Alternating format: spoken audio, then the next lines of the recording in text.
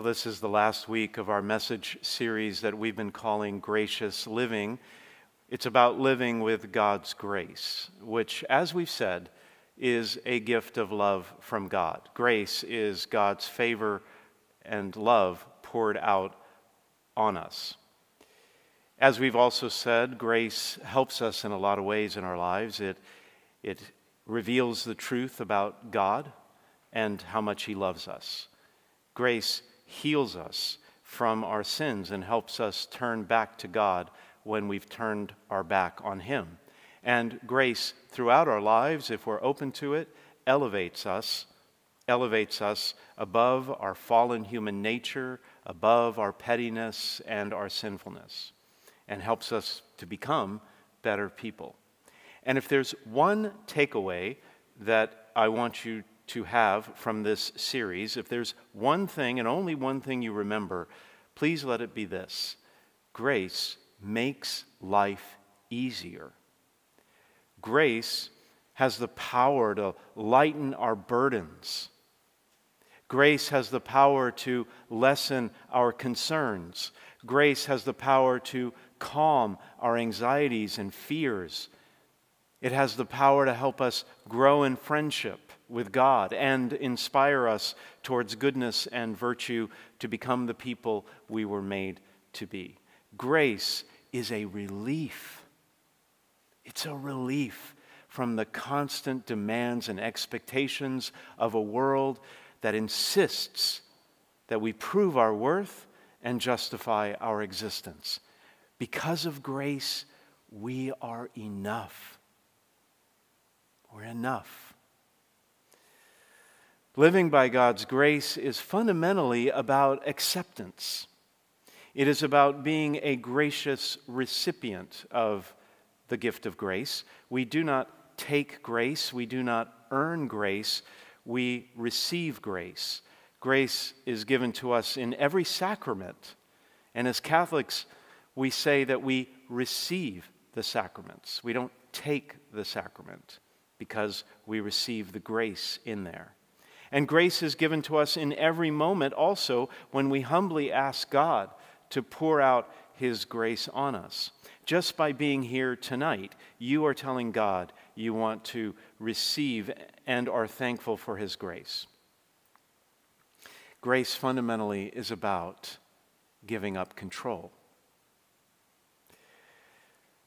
You know, one of my dearest friends is our volunteer ministry leader over small groups and ministries. You probably know her. Uh, she is sometimes a lector here, sometimes has spoken with me after Mass here when we do our little pastor chat occasionally. Her name is Michaela.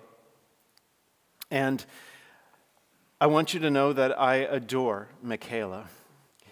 But I have to tell you, that every time I get in the car with her when she's driving, I instinctively start humming that Carrie Underwood song, you know, Jesus, take the wheel. Jesus, please take the wheel from this lovely woman because she's scaring me to death right now. I think it's the Italian in her. Anyway, it's actually a helpful phrase Jesus, take the wheel a helpful phrase throughout life because the truth is we cannot heal ourselves. We cannot raise ourselves up out of the burden of sin. We cannot fully know God and have friendship with God without grace. We have to surrender to that grace and give up control to God. Now, today, I want to talk with you about the last act of grace. It is grace that saves us. You know, at some point, we all know that there will be a final curtain call for every one of us. Some years ago, I actually purchased a gravesite at Holy Cross Cemetery down in Colma, which is just south of San Francisco, if you don't know it. Holy Cross Cemetery is the Catholic cemetery of the Archdiocese. And in there, there's a, a section where priests are buried. And you'll see on the screen that in that section, there's a tableau of the Lord's Supper. And all the priests' grave sites are arranged in a semicircle around that tableau. Well, I decided that I was going to get ready early and buy myself a grave site so I didn't have to scramble at the last minute, whenever that was. And I like the plot, it's beautiful. I've gone to visit it a couple of times. And um, the only problem is that some inconsiderate priest right in front of me, who died decades earlier, erected a huge Celtic cross. You can see it on the left hand side of that picture there. And he is going to block my view of the tableau of the Last Supper for all eternity. And he and I are going to have words when I get to heaven. But be that as it may, having that gravesite and paying a little bit every month for it when the bill comes makes me think about death. There will be a time for all of us to move on from this life to the next. And death is the ultimate act of giving up control. But grace has the power to save us. In the gospel today, everyone in that small village of Bethany knew that Lazarus was dead. It had already been four days. Lazarus was not coming back. There was nothing he could do to bring himself back. He had been long buried, the heavy stone rolled in front of the tomb. Even his two sisters had all but given up hope when Jesus had not arrived in time to save him. When Jesus finally shows up on the outskirts of Bethany, Martha runs out to meet him and rebukes him. She says, Lord, if you had been here, my brother would not have died. But even now, I know that whatever you ask of God, God will give you. Don't you love that? It's a classic move, right? Blame him for not coming sooner, and then in the next breath, ask him for his help. Anyway, Jesus calmly replies Martha, calm down. Your uh, brother will rise. And she says to him, I know he will rise in the resurrection on the last day. Now, many Jews at that time, including the Pharisees, believed that there would be a day when God would raise up just and righteous people from the dead to live with God forever. But it would be sometime in the future, and everybody would be raised up together. And it wasn't really a fully formed understanding. So Jesus wanted to bring Martha, Martha to a deeper understanding of faith. So he said, I am the resurrection and the life. I am. Whoever believes in me, even if he dies, will live. And everyone who lives and believes in me will never die. And the life that Jesus will give to Lazarus is the same gift he gave to the woman at the well and the same gift that he gave to the man born blind last week. It is the gift of life giving grace. Jesus then asks her a very pointed question do you believe this? And she responds, Yes, Lord, I have come to believe that you are the Messiah, the Son of God. And I believe that the Lord puts this question to every single one of us every day and at the end of our lives. Do you believe this? Well, the mood suddenly shifts in the story, and Jesus becomes perturbed and deeply troubled, and they take him to the grave. And in the shortest verse in the entire gospel, Jesus wept. Think about that. Jesus, the Son of God, the one who created everything, the all powerful one, wept over the loss of his friend Lazarus. He wept over the grief and pain that Martha and her sister Mary felt. He wept over the tragedy and the heartbreak and the outrage of death itself.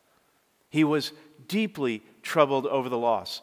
And the word perturbed, you know, it sounds like, when I read it in English, perturbed sounds like he was mildly annoyed. but that's not what's going on because that word is translated from a Greek word that suggests deep emotion and even anger. Jesus wept, yes, but he was also angry. He was angry because death involves suffering. Like a parent who sees their child in pain, God feels it even more acutely than we do. Jesus is outraged, he is indignant at the evil of death that was never intended by God from the beginning. This is his reaction to the death of a loved one. And it is so beautiful because when you think about it, it is the embodiment of God's compassion for the human condition and the inevitability of death. You know, a lot of people don't believe in God or struggle to believe because God allows suffering and allows the ultimate tragedy of death. And therefore, it seems that He doesn't care about us. You see that in the gospel when some of the people there say, well, if he could heal the man born blind, why didn't he do something so that this man wouldn't have to die in the first place? People ask that all the time. Why does God allow it? But God is not a callous and uncaring God.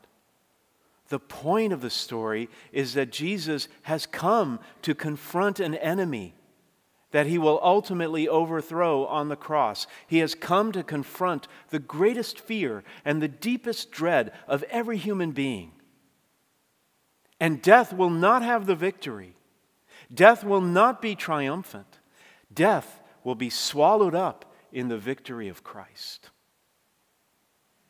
And so Jesus said, Take away the stone. And so Martha, the dead man's sister, said to him, Lord, by now there will be a stench. She's like, Jesus, it's going to be stinky. she still didn't understand. And so he said to her, Did I not tell you that if you believe, you'll see the glory of God? And so they took away the stone. And I love, re- every time this comes up in the readings, I get chills when I read it because Jesus cries out in a loud voice, Lazarus, come out. And the dead man came out. And he was bound, you know, with all these burial bands and had a cloth over his face. So Jesus said to him in words that I also find deeply moving Untie him and let him go. See, Lazarus could not save himself. He was bound by the burial cloths. Someone else had to untie them. Because of the resurrection of Jesus, we can believe with confidence that our final destiny can be heaven. But eternal life is not something we can achieve on our own. Ultimately, it is grace that allows us to have it. Grace that heals us of our pettiness and weakness. Grace that works with us throughout our whole lives to make us better people. Grace that makes our souls ready to meet God one day. And in that final moment when we close our eyes for the last time, it will be grace that carries us home. There's an artist named Charlie Mackesy. You can see him up there on the screen. He wrote a book a few years ago, and I'm told that every parent, almost every parent, knows and loves this book. It's called The Boy, the Mole, the Fox, and the Horse. It became a New York Times number one bestseller for a very long time, and it went on to earn numerous awards. And the author, Charlie, is also a follower of Jesus, and he talks about grace. He talks about grace in this way. He says that grace, that religion, is often presented as a somewhat impossible task. Can we have a picture of the mouse? Charlie drew this picture of the mouse, or he colored in the lines, and he said that sometimes religion feels like we have to pick the perfect colors and co- then color in the lines very carefully every day. And if we do that, if we do that, then we will be loved. Like that. If we do that every day and color in the lines perfectly, then we are loved. But the dilemma is that deep down on the inside, I look more like this picture. Coming up. kind of messy. Kind of messy.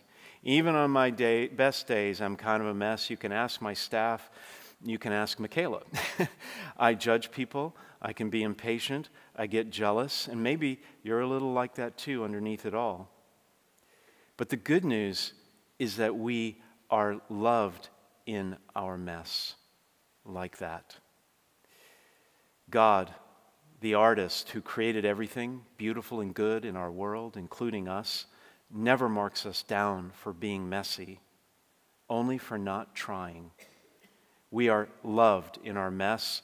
In fact, we are loved so much that grace works to help us clean up that mess. And we have to do our part. We have to try.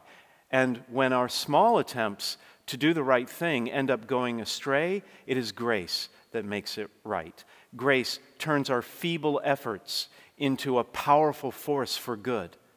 No matter how half hearted or weak or ineffective our attempts to love turn out to be, grace makes them stronger in the end. Grace makes our work in this world worthy and crowns it with goodness. This is why our faith says that we can merit heaven.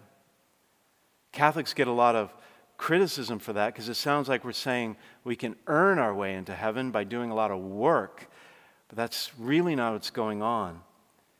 God calls us to try and clean up our mess and help others clean up their mess, but it's God's grace that makes it good. It's God's grace that makes everything we try to do meritorious.